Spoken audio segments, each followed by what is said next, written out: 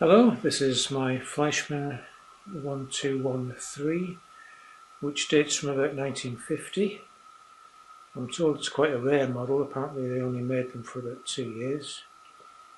I bought this from eBay Germany a few years back.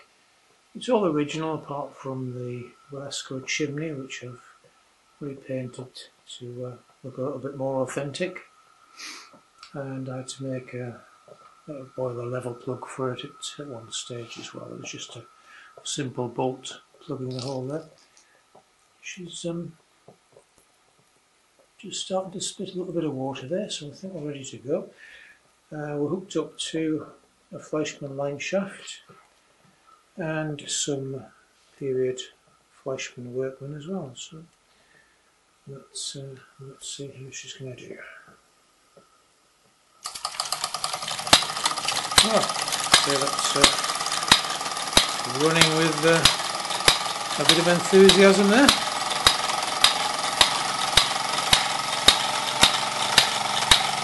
Yeah,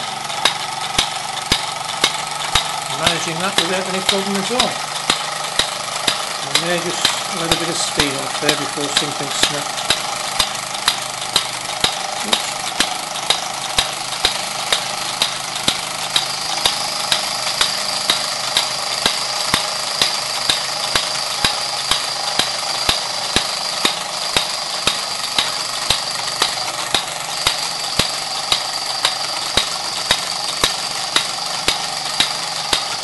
Okay, never mind the hissing in the background, that's just keeping the speed down a little bit.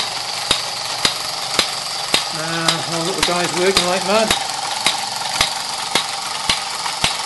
Massive sausage production, which I always like to see.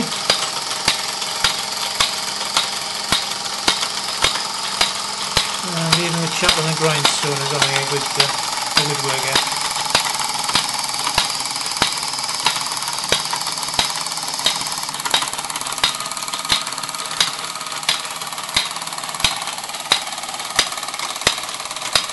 It's a really nice engine to run this, I've never had any bother with it at all.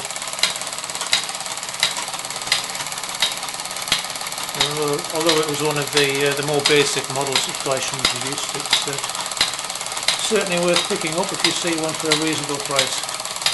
Well, I think so anyway.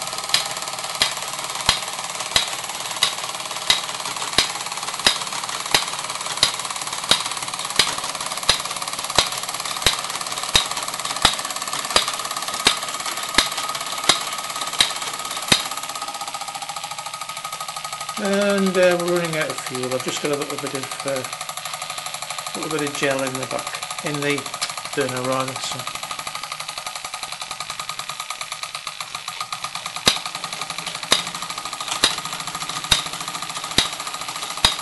Oh, maybe not. Yes, it is definitely going down a bit. So yeah, uh, a short run, but um, quite entertaining all the same. Thanks for watching it.